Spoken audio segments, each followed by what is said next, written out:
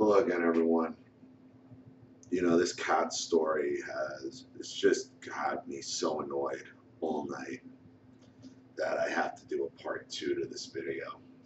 As the more I think about it the more I've read. And uh, first thing I need to do, I need to correct. It wasn't, the story wasn't originally posted in The Guardian, it was posted in the Daily, the Daily Mirror. So, they're a different newspaper. You know, daily newspaper with an online presence, and this is online, but I'm sure it was in the in the paper as well.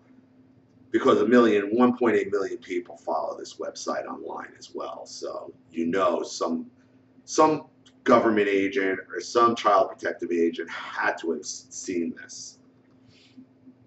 And you know, you read the the, the Guardian or the Mirror article, and it is a bit different in that it's it's in pounds. So despite sending 15,000 pounds a year on vet bills, which is about $23,000, pet insurance and food, now the article yesterday said that was all for vet bills. Pet insurance and food, the mom of two says she remains totally dedicated to her cats. I wonder if she has insurance on her children. She's got the she's got the cats insured. She have the she have the the children insured. She have herself insured, but she sure as shit has these cats insured. It appears she's from Plymouth, um, wherever the hell that is, in uh, in England. So if you're a subscriber and you're familiar with the area of Plymouth in, in Great Britain, maybe you want to notify child services about this woman and maybe maybe these kids are in uh, are in deep deep trouble. And you know and here, here's the other part where where it's a where, where it's different from the catchannel.com uh, which really tried to fluff it up. This is still fluff but Kelly is an award-winning cat breeder, and her work has helped promote rare snowshoe breed internationally.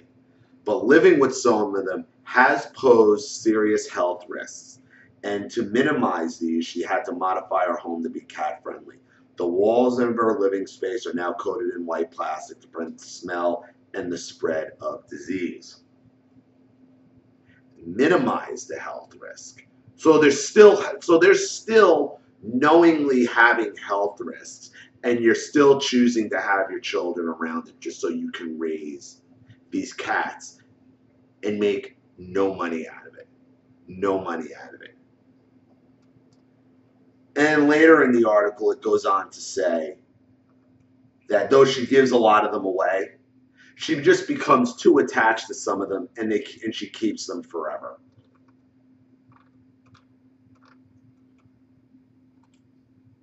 And though that's disturbing, you know, you go to the Cat Fancy Facebook page where, you know, I saw this on originally.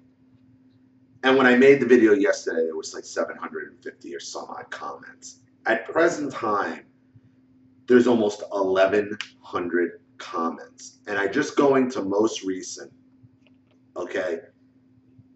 And this is what, these are, these are, these are the responses you get. Selena, my cats, no non-negotiable. Alderice, cats always. This is one after another. Kumi, oh my God, my cat. Jackie, I had to make that choice 10 years ago. It was stay with me or leave my puppy outside, or he would leave. I still have my dog. Elaine, cat. Briley, cat. Sandy, cat. Iris, great job, ladies.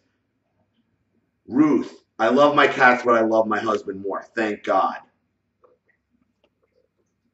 Gail, the cats stay. Carol, husband, oh good. Donna, my cats. Minervina, my cats. Stephanie, cats. Victoria, I prefer animals. Nice to see her remaining loyal to her animals. What about her kids?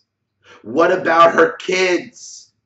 Woman after woman after woman. It's 95% in support of this woman. Throw your husband away. Sweep your kids under your rug for the cats.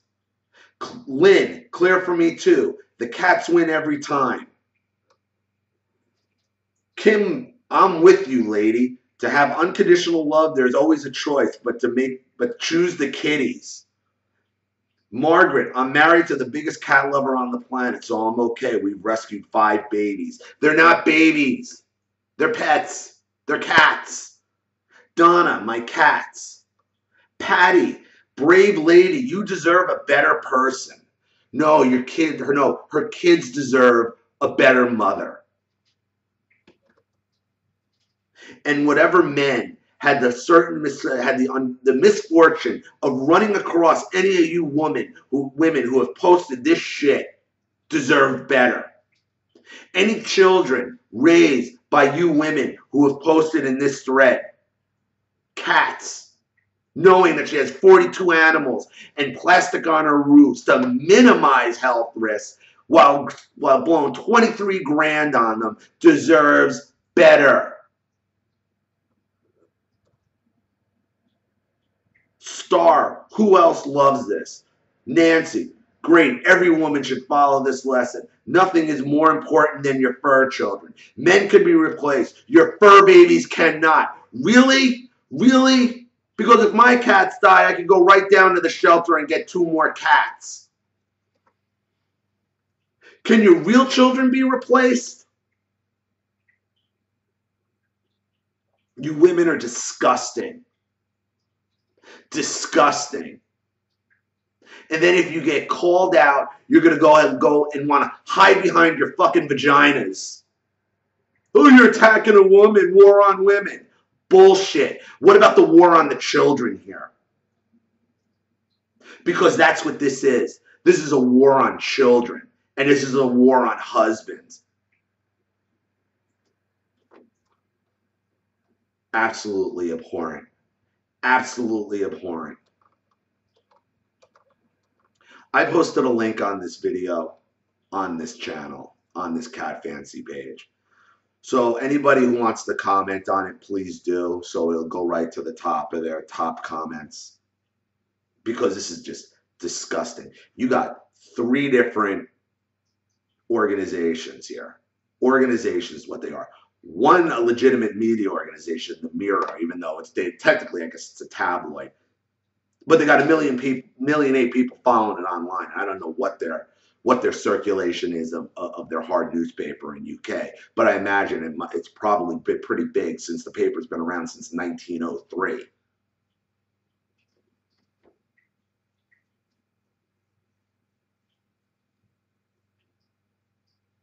Disgusting. Disgusting. And if you agree with this woman and you're a subscriber of mine, unsubscribe. If you're a friend of mine on Facebook, unfriend me. Because this is absolutely disgusting. Disgusting that this many women would choose cats over their children and their husbands and their own health, mind you. Because the kids are obviously going to, but she's actually even risking her own health, which isn't as bad as risking her children's health and ruining her marriage over it. But she's also so detrimental that she's going to poison herself. And this has nothing to do with cats. I love cats. Had cats all my life. If anything happened to my cats, I'd be devastated. But if you asked me to choose between my cats and my daughter, or cats and my wife, come on, man. This doesn't need to be explained absolutely disgusting. This is Ollie Mathews. I'll see you all again soon. Bye.